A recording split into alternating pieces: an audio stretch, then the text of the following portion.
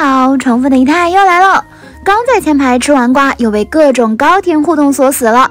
说正题之前，仪态先带大家来感受一下来自打工人的快乐。真是没想到，在剧里磕生磕死的两个人，现实里也这么好磕。忘记说了，仪态追完最新一集的《山河令》，又把张哲瀚的龚俊的相关物料复习了一遍。越看越发现，他俩疑似德云社在逃成员，简直太欢乐了。李太已经等不及，想和大家分享啦。近期，优酷趁热打铁，又和其他平台联合推出了一档古装女演员养成选秀《超 A 女一号》。节目还没开播就赚足了眼球，因为不仅邀请到了刘涛来当教导主任，还请来了张哲瀚和龚俊。老公和老婆合体营业，山人怎么能错过呢？先不说刘涛和《山河令》里两位男主的同框，实现了《琅琊榜》加《山河令》两大热门剧集的梦幻联动，单单粉丝的沙雕应援就把仪态笑趴了。张哲瀚刚现身的时候，就有粉丝送上了精心准备的礼物——军体拳训练教程，这想法真的绝了。粉丝还说送给你，好好锻炼身体。小声说一句：“张哲瀚这体格还用锻炼吗？难道山人们已经忘了张哲瀚耿直会用站姐，这体力还追星的名场面了吗？”可粉随正主这话真不是随便说说的，真有粉丝迎难而上：“我们练得很好了，我们已经学过了。”没想到张怼怼又上线了：“你们练好了是想打我吧？难道这就是传说中的道高一尺，魔高一丈？”当然啦，这些只是小场面，更绝的还在后边。有粉丝突发奇想，包了 LED 车游街，循环播放张哲瀚、龚俊的歌舞代表作。张哲瀚仿佛广播体操一样的舞姿，以及龚俊嘹亮的“爱你呜呼”，就这样循环展示在了所有人面前。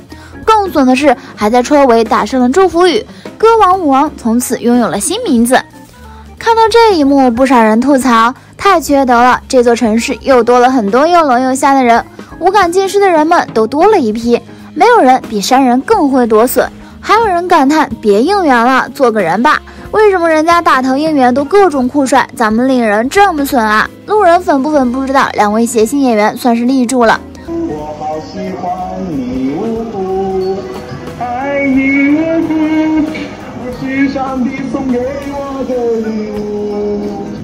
公开处刑，当街社死的程度，不知道的以为是黑粉。果然，《山河令》一直是姨太的快乐源泉。涛姐和老公老婆的同框也笑点十足，不小心又发现了他们的小秘密。群访的时候，龚俊吐槽到自己在剧组请客，张哲瀚敷着面膜去，结果第一个走人居然是吃吐了。这下全世界都知道了张老师火锅吃吐的事情。鬼谷的饭果然不是一般人能够消受的。龚俊还给自己挖了个大坑，这小表情确定不是在撒娇吗？这波欢乐还没结束，张哲瀚又贡献了大胆发言。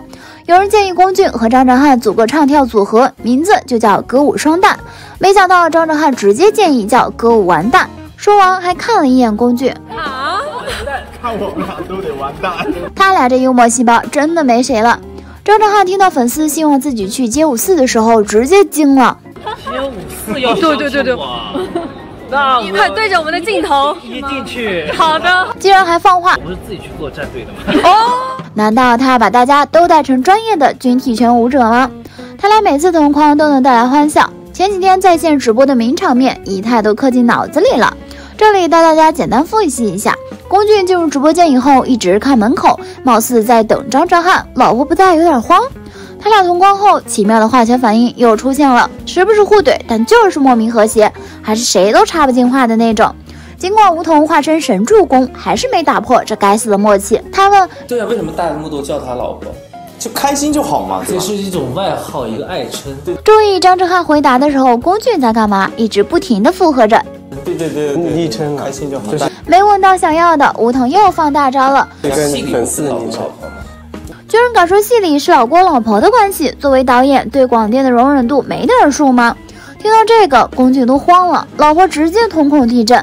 这篇翻过去以后，大型社死现场又来了。吴桐问龚俊看过《王牌》吗？俊子直接说看过看过，我是大学的时候经常追《王牌》。话还没落地就打脸了。当导演说我们一六年第一季，龚俊直接说那没看过。说完还和老婆对视了一下，哈哈大笑起来。那场面完全值得回放无数遍。后来的答题环节，他俩也贡献了不少名场面。虽然呢是两个直男，虽然看起来不是很有默契，虽然大大方方营业，但是好磕呀。尤其是那魔性的笑声，洗脑又解压。现在看起来一切还蛮和谐，但不少商家已经动了小心思。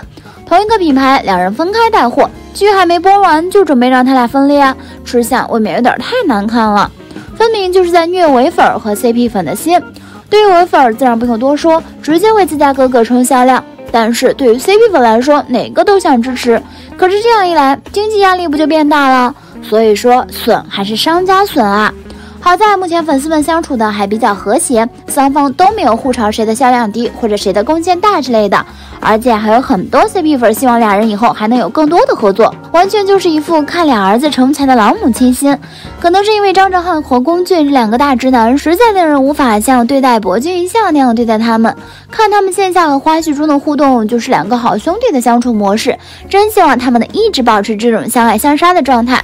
最后来一波彩蛋，给大家展示一下粉丝送给爱豆的各种神奇礼物。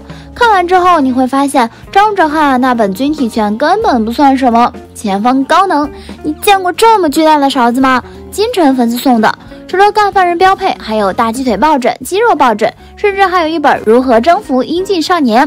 大喜的撩汉功力都能出书了，没想到大家还这么替他操心，绝对的真爱粉没跑了。还有受到启发的王菲菲粉丝们，他们送了王菲菲一只猪脚，祝她早日成为女主角。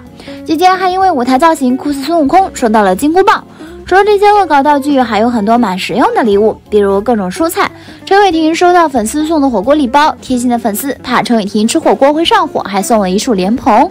说起来，西兰花可能是明星们最喜欢的食物，一大批西兰花即将赶赴战场。黄龄、邓伦、王力宏、江疏影，姐姐在机场还收到粉丝送的菜篮，一下从机场穿越到菜市场。